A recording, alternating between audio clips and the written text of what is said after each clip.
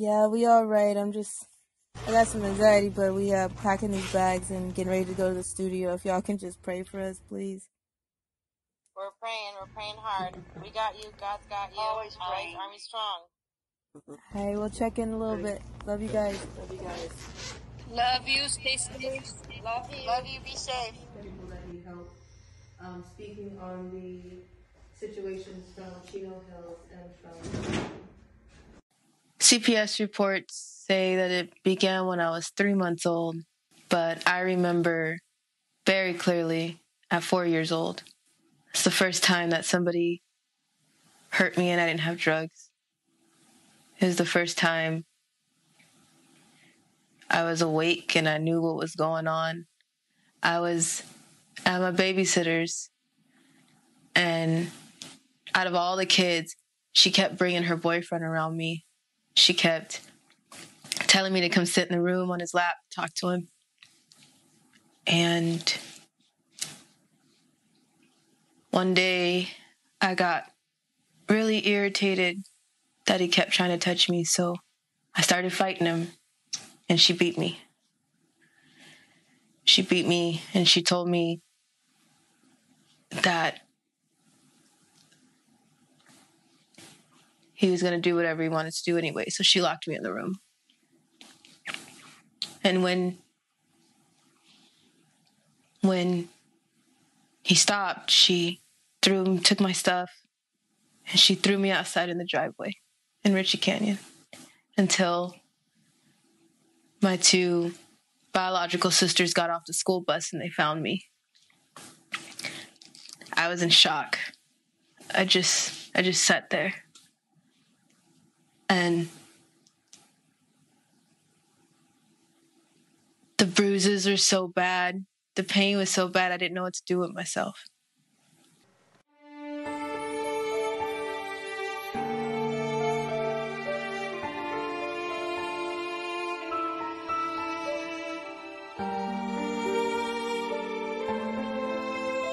When I was 18 or about 18 or 19 years old, um, I started trying to look for answers. I started trying to, and I wasn't really, I know who my mom is. I don't need those answers. My former last name has, it means nothing to me. Um, I don't want anything from it. I never have, and I never will. Um, I couldn't wait to get rid of the name. But when I turned 18, 19, I started trying to still fill in those holes to my life that I'm still missing. Um, and I tried to go back to the hospital, uh, St. Bernardine's, California. I tried to go back and get some type of history. Um, I started talking to my babysitter. It was a weird situation because she was placed in my life as someone that I started talking to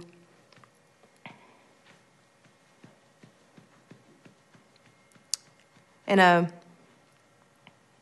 in a relationship type way. I didn't know who she was. I didn't remember her. Excellent. Hey, quit playing with yourself. Okay. I can hear every time you squeeze that thing. All right. Well, you know, I don't know where to throw this. Quit playing with yourself. That stopped a while ago, but you know, here we go. I don't know where I can't. I can't. I, I would. I would toss. I can't see anything. So you know, I'm just gonna get low. I, okay,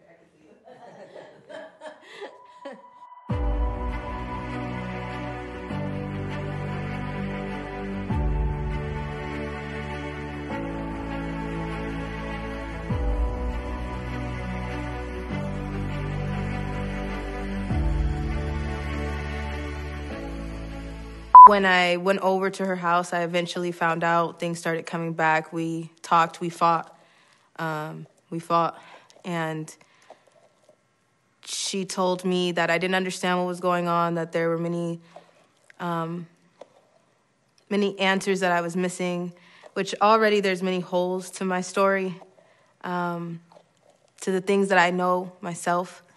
Um, I wanted to, I stopped looking for those answers when I was adopted, but and I don't need those answers, but I, I tried to look anyways. Um, I went back to St. Bernardine's Hospital. Um, I started looking for answers, and I didn't know what I was looking for. I didn't know if I wanted that answer. Uh, I have my mom, and I know who my mother is.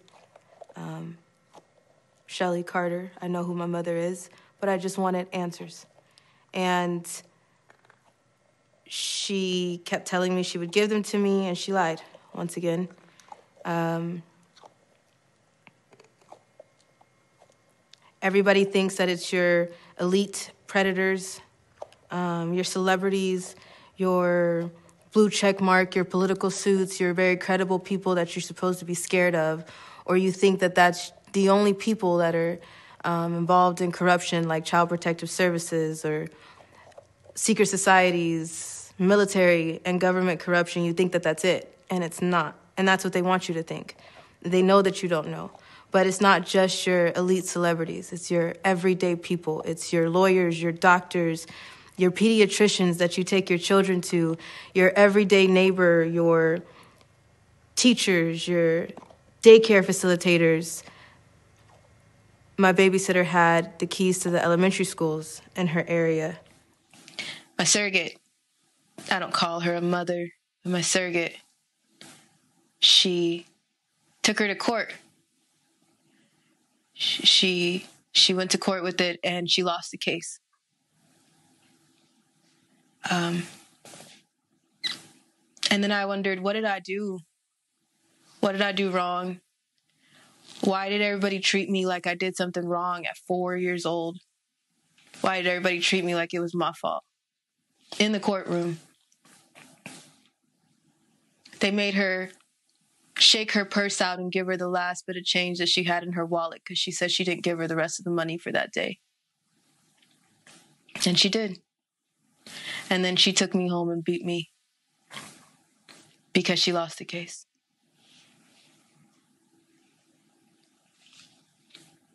Uh,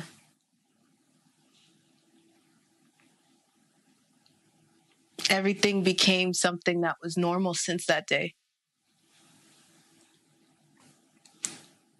that day that day never leaves me and ever since that day i thought everything that was going on was something that had to happen and something i did so i stayed quiet until until i was about 12 and then every boyfriend every piece of authority everyone that she brought in my life, she kept telling me she didn't get enough money from me. She got uh, government money for the rest of her kids. She stole social security cards. She was very well invested with the Panthers until they left her alone for a little bit. And so she had to figure out the money and then come by herself. So, bootleg movies, fake IDs, drugs is what she did. But she always said she never got enough money from me. So, and at 12 years old, she started dating the chief of police.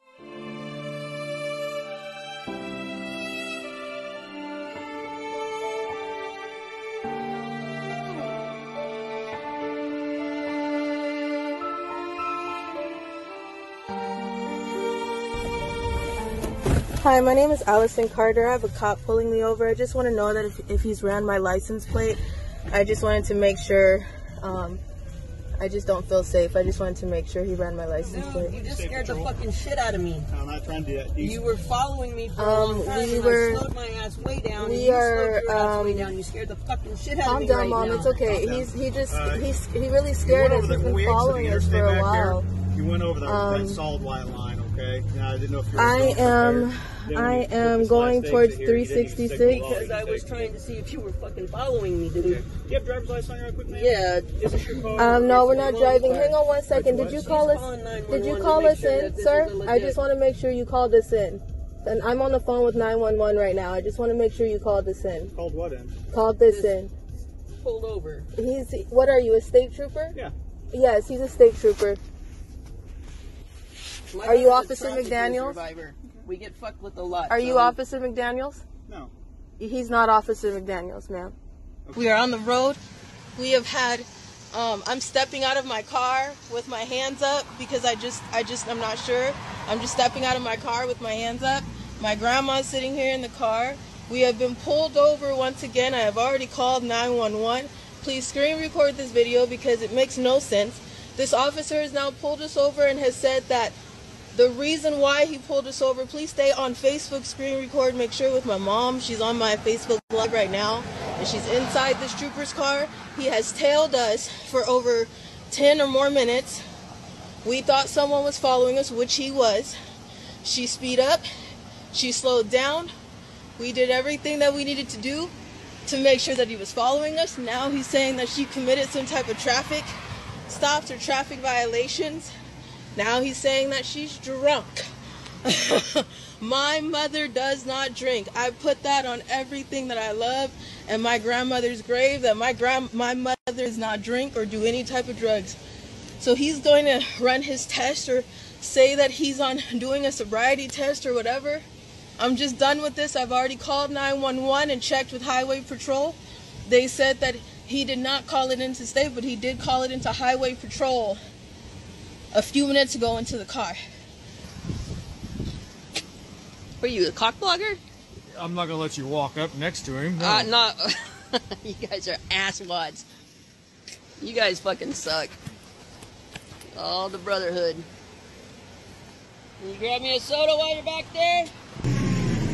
You're really harassing me because first you're gonna a, a violation, and then you're, and then I'm a drunk driver, and then now you're getting me on drugs and shit, and you're upset because I didn't pull over immediately off the uh, off ramp.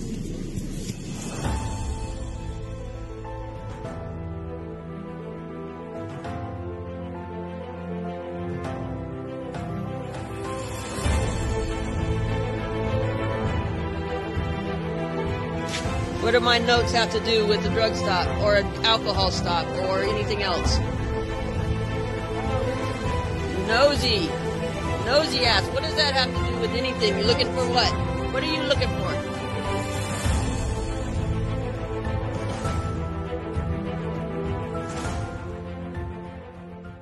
A lot of you saw the video where the police pulled us over the first time. Um, it was late at night. We we turned the live live cameras on, uh, and then you saw us get really belligerent uh, with the police. Uh, they searched our car. They pulled everything out. Um, what you don't understand is there's so many more things that go on uh, for survivors. Uh, weeks prior to that, one of Ally's handlers had bought onto her contract. Um, that means that they paid money uh, for each one of those police officers to pull us over the way they did. Uh, and I already knew that um, your your police officers are not all good and they're not all bad, but there are some that um, have sworn to the blue Ma- uh, the Freemason uh, Brotherhood, uh, and they're very corrupt. Uh, like the, all the secret societies, um, they do what they're told to do. Um, when you saw Ally getting very belligerent uh, with the police officer, it's because the police officer was looking at the phone. One of our um, one of the people that help us stay out of the way um, was calling, and we didn't want him to see who was calling because we were afraid that he would harass her. So uh, it was actually uh, Ally's alter, Maddie, that was uh, getting very belligerent. Most of you don't understand how things work for survivors. There's just a lot to it. When they paid to gang stalk her in that way, uh, the purpose of it was to stress her out to the point where she split. That night, when you watched us on uh, the live being pulled over, uh, that was enough stress for Ally to split, and that was the goal of the gang stalking. What does it mean to split? Um, for survivors for MK Ultra, they start uh, splitting the psyche when they're infants, and it's called trauma-based mind control. and they introduce trauma into the, the children, usually the infants. Sometimes they do it while they're in the womb. Um, they can shock them in the womb. They can, um, there's survivors that I know that were uh, raped as they were being born breech. They raped them half in the canal and half out of the canal um, to cause a split, to cause enough trauma uh, for their, their blood pressure and their heartbeat to raise so high from the fear and from the pain that their psyche will split. Uh, they're looking for that split because they can pro- program that part to be a slave. Uh, your black slavery uh, was more of a physical slavery. They were physically um, bound to where they were. They they couldn't leave. They were physically in slavery. Uh, MK Ultra slavery is a slavery of your mind. You have no control over your mind anymore. Somebody else is able to control that. Uh, somebody else is able to say codes, passwords, triggers, uh, and pull up whichever alter they want to do whatever task they want. Uh, so it is the most evil form of slavery that you can imagine.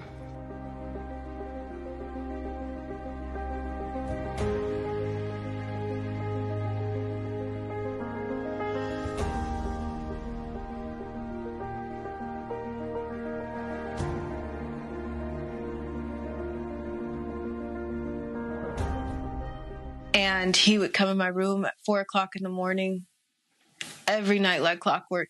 He was a married man and he didn't come over during the day except for maybe twice. And but he would he would come over at 4 a.m., 3 a.m. to have sex with her, and then she would go get in the shower. And then he'd come to my room. And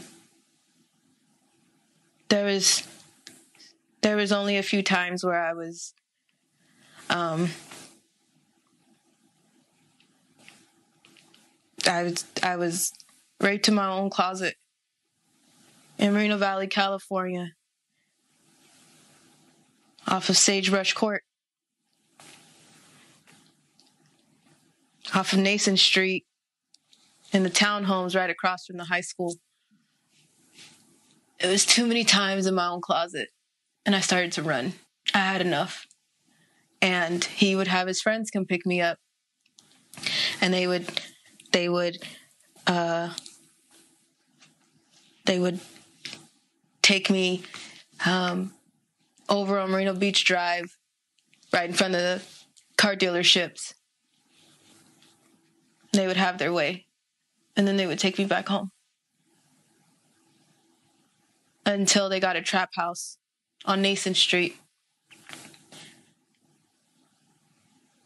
They would bring other kids. Nobody questions the cops. Nobody questions why their cars are parked the wrong way. Nobody questions what they're doing. Everybody thinks that if if the cops are sitting in a weird spot in the middle of a deserted field, then somebody did something wrong and they were probably trying to catch them. And no. That's not true. I I tried. I tried to run. I tried to scream. I tried to fight. And they would just put handcuffs on me. And and then I had enough. I tried to kill myself.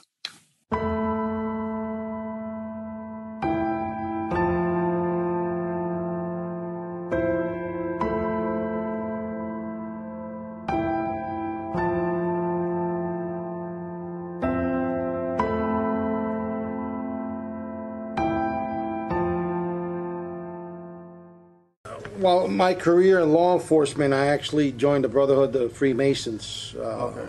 uh, Yeah, how'd you Lodge. get into that? How'd you get into that? And you know, a lot of cops are involved with that. Really? Oh yeah, yeah. It, it is. It's uh, it's a thing that I'm not saying you must do, but 95 percent of them do. One of my uh, supervisors, he was a lieutenant. Um, pretty much came up to me and asked me, "Hey, you you want to join a club?" And I'm like, "What kind of club is it?" You know what I mean? Well, it's a Freemasons. I did my background, you know, uh, on them and did my research and Yeah. Sworn to secrecy. yeah, you sworn never to divulge any information, but to always protect and help your fellow brother. That's it. But see, if, if you start exposing them, they'll go after you. They'll go after your family. They'll try to kill you because the government is part of it. It's not only civilians. The government is in cahoots with these people. Right, right. And in every there's sectors throughout the whole country that split apart. I I don't know if it's northeast, south, and, and west, but they have witches that are in charge of these sectors and warlocks that are in charge of these sectors, and they pretty much monitor the the the satanic. Um, you know, I'm going to use the satanic. Uh, you know, um, members, and a lot of them are politicians, heavily involved in witchcraft, and they have to do certain rituals and certain things in order for them to gain favor with the Rothschilds, and then they send uh, orders of, of, of you know orders of doing things for the for, for that family.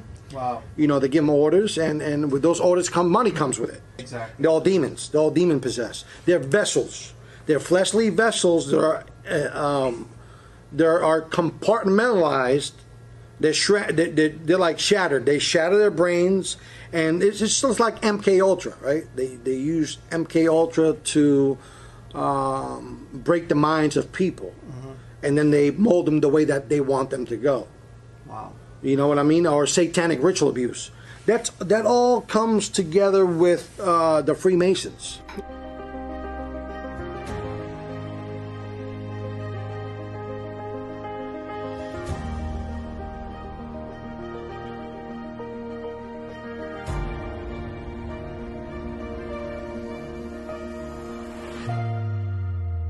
I want you guys to think about your mental hospitals. Uh, a lot of your horror movies are based uh, around asylums, mental asylums. Um, most of us know that there was uh, tortures that went on in the mental mental asylums, um, lobotomies, different types of things like that. Uh, those things are real. Um, a lot of your MK Ultra survivors have been through mental hospitals. Uh, a lot of them get put back into mental hospitals um, to reset their programming if it starts to break down. Uh, a lot of your survivors have been raped in mental hospitals. A lot of them have been put in uh, dental type chairs for programming and resetting purposes. Uh, most of the survivors that you come across are going to be terrified of the dentist, and that there's a reason for that. Um, they use a lot of medications uh, for programming as well. For instance, your your CPS kids will all be on different types of medication. Uh, you, if you go buy a medication and you pull out that pamphlet that comes with it, there's a big long thing with uh, risks and uh, side effects and those type of things. They have to test those medications on people, and they test them on the people uh, that are in the mental hospitals. They test them on the children in uh, CPS care because they can. They can give them the medications and uh, find out the side effects and, and use them for experiments. So there's so many layers of things that are being done. Um, it, it, it's the just the worst evil that you've ever seen. I went into mental hospitals.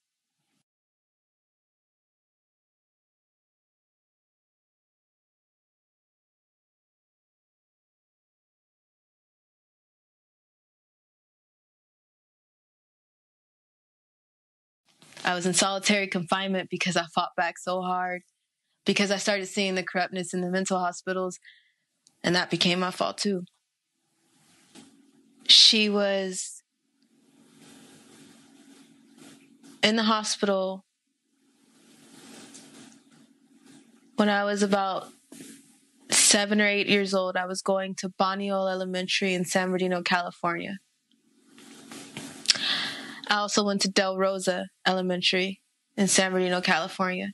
But at the time that I was going to Bonnie Oehl, she was put into Patton, the hospital for the criminally insane. I don't know why. And I don't remember. I remember some of it, but I don't remember a lot of it.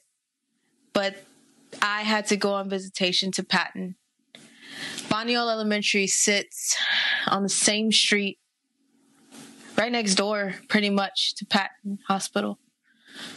And they would, I would have to go visit her. And when I visited her, weird things happen. They would put me on a table and play that clown game with me. You know how you try to stab your hands um, and not miss with a knife? They would they would put me on a table and they would put food around me and they would stab at me. I remember that. I was I was 15 in the 10th grade.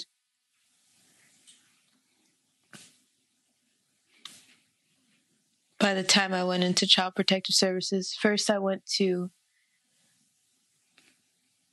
Riverside ETS and Chino Hills Mental Hospital. I was in Chino Hills for a month in a psych ward. Um, the nurses there and the psych ward had a system, and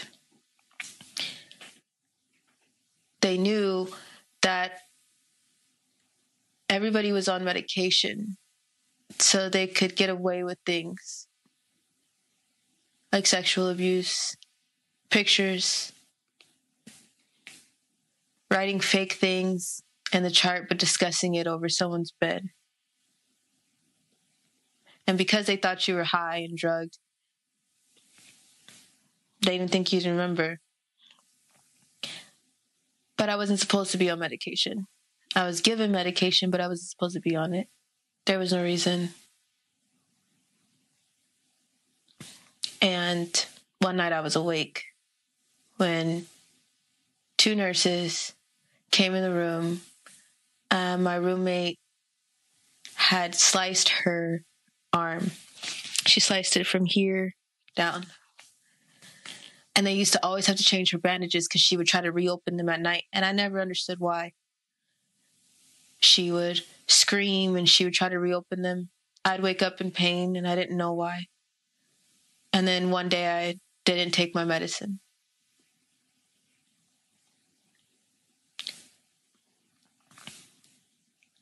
And the nurses came in our room and they were talking over our bed about changing the charts.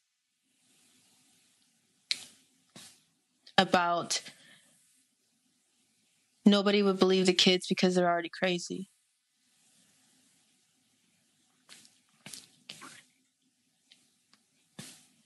They took pictures after they took her clothes off. And when they came to my bed, I started fighting.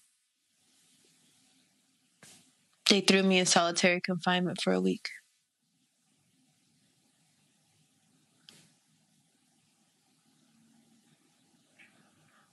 I wanted to die.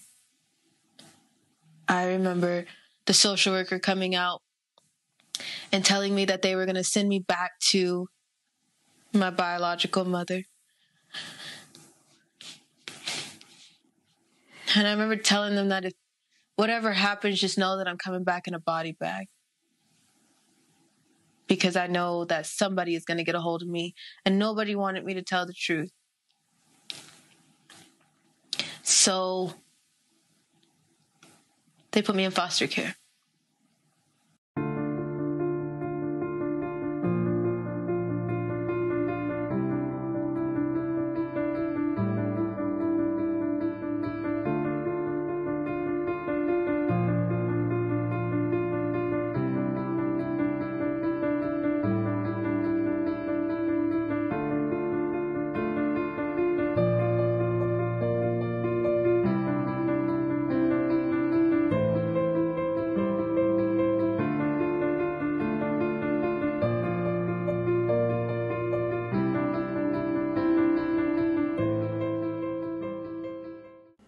Was put in, in foster care, um, I was advocating for her and uh, I was reporting back and I was writing reports and turning in uh, reports to CPS um, based on the abuse that she was telling me that she was experiencing while in foster care.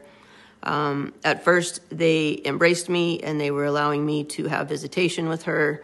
Um, when I started making too much, uh, wa- too many waves, um, they turned everything back on me. They filed a court order uh, that said I was a predator uh, to Ally, and they were telling me I was not allowed to have contact with her because um, they were trying to silence things, and they were using that as a means to scare me. They never. CPS was in charge of Ally at that time. She was their responsibility. Uh, if they filed a court order that I was a predator or was harming her, uh, they should have pressed charges and they should have followed up on that, and they never did. Um, shortly after that, Ally went missing uh, from CPS care. She was AWOL for over a year. Uh, after that year was up, they placed her with me. They said I was a good home and a good fit for her, uh, and they allowed her to be placed in my home. Those are two opposite things in a very short time, um, but they do that to a lot of parents. That's a tactic they use uh, to silence people, um, to keep control of the situation um, to get people to look the other way. Uh, CPS is very corrupt and it needs to be defunded. It's, it's very evil what they do. Um, they can remove children from any of your homes uh, for any reason. It, it's irrelevant whether you're a good parent or a bad parent. Uh, if CPS wants to traffic your kid, uh, they can come in and take your kid, um, and you really won't have a leg to stand on. CPS has no checks and balances, they don't have any oversight. Um, the ombudsman of your state is supposed to be the checks and balances, uh, but the ombudsman's usually corrupt as well. There's nobody that CPS answers to. Uh, they work with the Freemason Brotherhood police. Uh, when they come to your door, they can take your kid, and they'll usually bring the police with them to do it. Uh, they work with corrupt judges that are also uh, Freemasons when I was fighting for Ally when she was in CPS care, uh, I went to the ombudsman for help. The ombudsman took our information. We met face to face in Riverside, California. When the ombudsman went back to Sacramento, where she was from, told me to message her within a week. Uh, I did message her within a week, and I didn't get a response. Um, shortly after that, I tried calling, and she had retired. Uh, that's just how things work in a corrupt system. A social worker from the county came out and opened a case uh, for Ally. Um, the social workers had changed a couple times while she was at the shelter. Um, at one point, a new social worker came. Uh, in social work, they they will dispatch uh, somebody to come out and uh, initially assess the kid uh, and take the paperwork, take the report. That's their job. When that part's done, then they hand that off to another social worker. So a new social worker will come out after that. Uh, there, there's a really high turnover rate of social workers for kids. Um, they, they change frequently. Uh, so the second social worker came out. Uh, by this time, Ally had, had a pretty thick folder um, they had information. I don't know where they, they got that information. Um, but that social worker was very prejudiced toward Ally. Uh, she had not met Ally yet. She had not spoken to her once. Um, but she told me and she told the other social worker, I mean, the other counselor, uh, that Ally was oppositional defiant, uh, that she was a troubled child, uh, and she already basically had a opinion made up of who Ally was. Um, we went back and forth with CPS. Um, when Ally left the runaway shelter, she was placed in a mental hospital. Uh, after that, she was placed in a foster home. Um, there was a lot of abuse going on in the foster homes. Uh, at that time, I had a good rapport with the social workers um, because I was advocating for Ally. Um, at one point, that changed. Um, they got very irritated that I kept um, reporting problems and um, making waves and making reports uh, because that was forcing them to move Ally to different homes. In a year's time, she was in 19 different homes and, and attended 19 different high schools. Um, so it wasn't too long before the social workers were not really happy with me, um, where they were allowing me to um, have visits with her. Um, so I could take her for a soda, take her for an ice cream, whatever. Uh, they stopped that, um, and then they turned on me. Uh, said I was a predator. Tried to uh, they put it into a fake court order uh, that I was not allowed to contact her. Uh, but Ally kept contacting me, telling me, you know, this is what's going on. Can you help me? Um, and I was, I was bound by duty to do the right thing, um, even though I was being threatened by CPS. Um, I chose to do the right thing.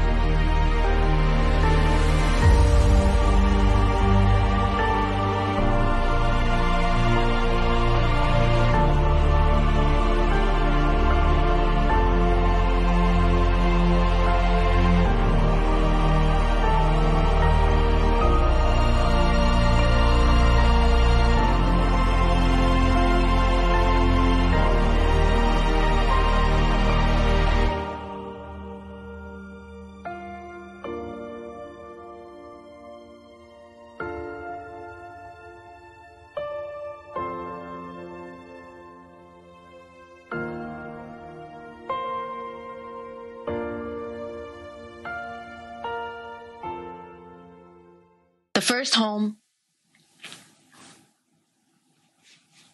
I thought everything was going to be fine. I lived in a home in Fontana, California. And I lived with a 16 year old boy, a mom, and a baby that was no more than a year or two old. Two foster sisters. And my two foster sisters ended up leaving. But one of them was having sex with the foster brother before she left. so when she left, I was the only one there. He started coming in my room. I called my mentor. I told her the truth. They moved me from that home and from there, I lost count of how many foster homes and group homes I've been in. I went to 19 high schools in one year. Never stayed anywhere longer than two weeks. Never stayed anywhere longer than a month. My social workers knew what was happening, but instead of wanting to make an extra report or having to make an extra report, they just kept moving me.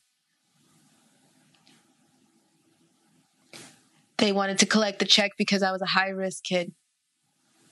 I was a high risk kid for court. I was a high risk kid for um, foster homes. And eventually I ended up in group homes. I went from level five, which is basically like a foster home, to level 14, which is lockdown. You can't stand up or sit down without asking for permission. You can't go to the bathroom unless you ask for permission. You can't leave your room and you have medicine that you have to take no matter what.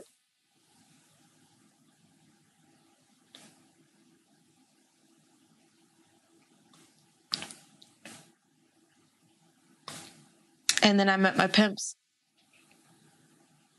And I, started talking to someone online. And I thought that I met him and he was going to be my boyfriend and, and I'd have this relationship. And I was with him for a little bit. His name was Keith. He had, um, he was, he was everything somebody like me needed in a time where nobody gave a damn and everything that I owned was in a trash bag and moved from place to place to place. And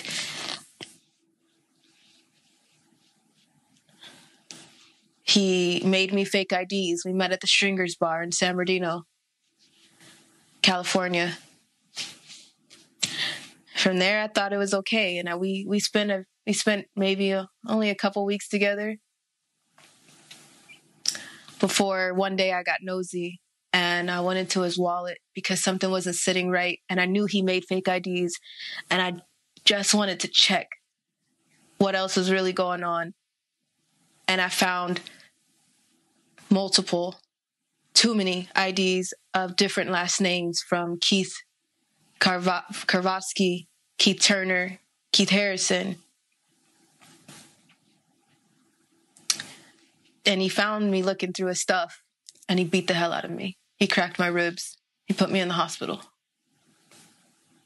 And he told me that you you're mine now. You're my property. You don't tell anybody else. And I did it. Um, I did what he said.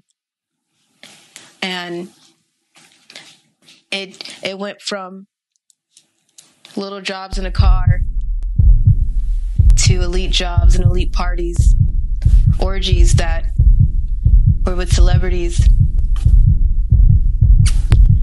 the Getty Los Angeles Museum, traveling to the Buckingham Palace, military bases,